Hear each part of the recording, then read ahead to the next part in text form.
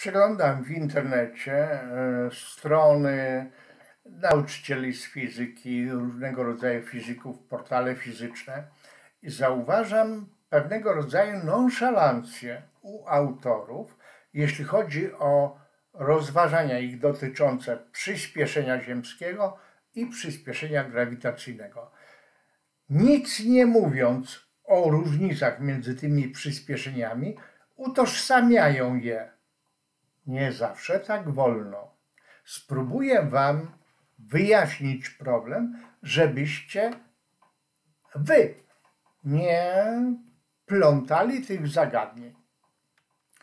Rysunek przedstawia Ziemię, kulę. Zakładam, że Ziemia jest idealną kulą. Ta elipsa to równik ziemski o promieniu R duże. Pionowa oś przerywana to oś Ziemi, wokół której Ziemia się kręci. Dwa punkty przecięcia się osi Ziemi z powierzchnią Ziemi to są bieguny geograficzne. I wyobraźmy sobie teraz, że znajdujemy się na jednym z biegunów, na przykład na północnym.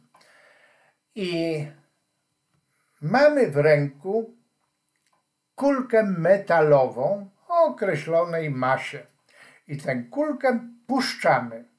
Od tego momentu ruch kulki jest jednostajnie przyspieszony pod wpływem siły grawitacji.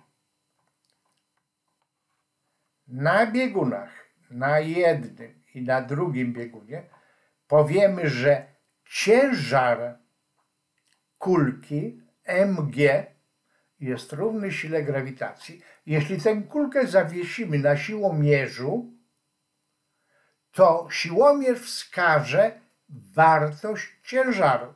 I wartość tego ciężaru na biegunach będzie równa sile grawitacji. No i przyspieszenie grawitacyjne, gdybyśmy tę kulkę puścili swobodnie, będzie ona spadać przyspieszenie, z przyspieszeniem równym stosunkowi siły grawitacji do masy. Kłania się druga zasada dynamiki. Prawo powszechnej grawitacji dzielone przez masę, masy się upraszczają, otrzymujemy przyspieszenie grawitacyjne na biegunach. Możesz nazwać to przyspieszenie przyspieszeniem ziemskim, bo ono jest wyznaczane względem Ziemi, ale jest wyznaczane tylko na biegunach. Obserwując na przykład spadające ciała na powierzchni Ziemi, analizujemy ruch tych ciał względem powierzchni Ziemi. Ale zwróć uwagę na to, że Ziemia obraca się, a więc powierzchnia Ziemi również. Powierzchnia Ziemi jest więc nieinercjalnym układem odniesienia. I my w swoim życiu codziennym, patrząc na to, co się wokół nas dzieje, dokonujemy obserwacji względem nieinercjalnego układu odniesienia. A wiemy wszyscy, że w nieinercjalnych układach odniesienia działają siły bezwładności. W przypadku ruchu obrotowego, ruchu obrotowego układu odniesienia działa na wszystkie ciała w tym układzie siła bezwładności odśrodkowa. Zobaczmy, jak to wygląda na równiku. Jeśli na siłomierzu zawiesimy ciężarek, to będzie on podlegał dwóm siłom. Jedna to siła grawitacji skierowana do środka Ziemi, a druga siła bezwładności odśrodkowa, od środka Ziemi. Siłomierz nam wskaże wypadkową, a to, co wskazuje siłomierz, to jest ciężar. Zatem poza biegunami, również we wszystkich innych szerokościach geograficznych, ciężar Q będzie sumą geometryczną, sumą wektorową siły grawitacji i bezwładności odśrodkowej każdej innej szerokości geograficznej ciało będzie się poruszało po okręgu będącego kolejnym równoleżnikiem, a siły bezwładności na tych równoleżnikach będą skierowane no tutaj patrzę i pokazuję to w prawo równolegle do siły bezwładności na równiku. Jeśli chodzi o wartość przyspieszenia ziemskiego na równiku, będzie to stosunek ciężaru do masy. Druga zasada dynamiki. A ciężar, zgodnie z tym, co wcześniej powiedziałem, będzie miał wartość równo różnicy siły grawitacji i siły bezwładności.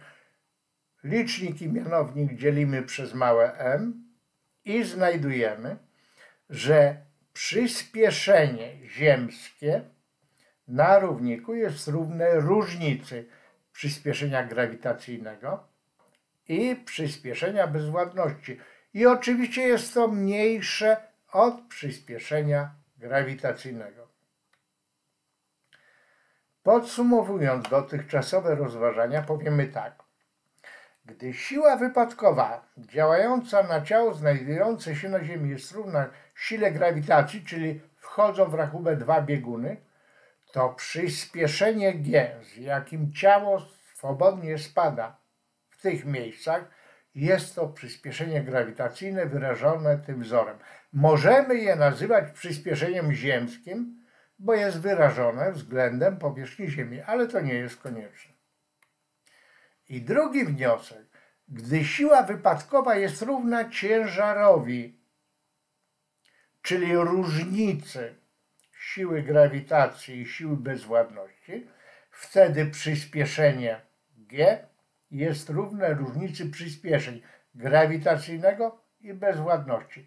I to jest nazywane, powinno być nazywane jako przyspieszenie ziemskie. Zwróćmy uwagę na różnicę między przyspieszeniem grawitacyjnym i przyspieszeniem ziemskim. I teraz dwa przykłady zadań z matury majowej 2021. Nieważne o co chodzi, ale autor mówi, że oznaczono przyspieszenie ziemskie G, a następnie mówi, działają siły FG, siła grawitacji i inne. Otóż na pewno autor nie miał na myśli doświadczenia wykonywanego na biegunach. W związku z powyższym, jeśli mówi przyspieszenie ziemskie G, to nie odbywa się ruch ciała z przyspieszeniem ziemskim G pod wpływem siły grawitacji, tylko pod wpływem ciężaru. I z tego samego roku zadanie dziesiąte. Autor pisze, że na kropelkę działa siła grawitacji Fg, a jednocześnie podaje, że przyspieszenie ziemskie ma wartość G 9,81 metra e, na sekundę kwadrat. Nie może działać siła grawitacji nadawać przyspieszenie ziemskie. Siła grawitacji nadaje przyspieszenie grawitacyjne. Ciężar nadaje przyspieszenie ziemskie. Podsumowując, jeśli na ciało działa ciężar Q, to ciało porusza się z przyspieszeniem ziemskim. A jeśli na ciało działa siła grawitacji, to ciało porusza się z przyspieszeniem grawitacyjnym.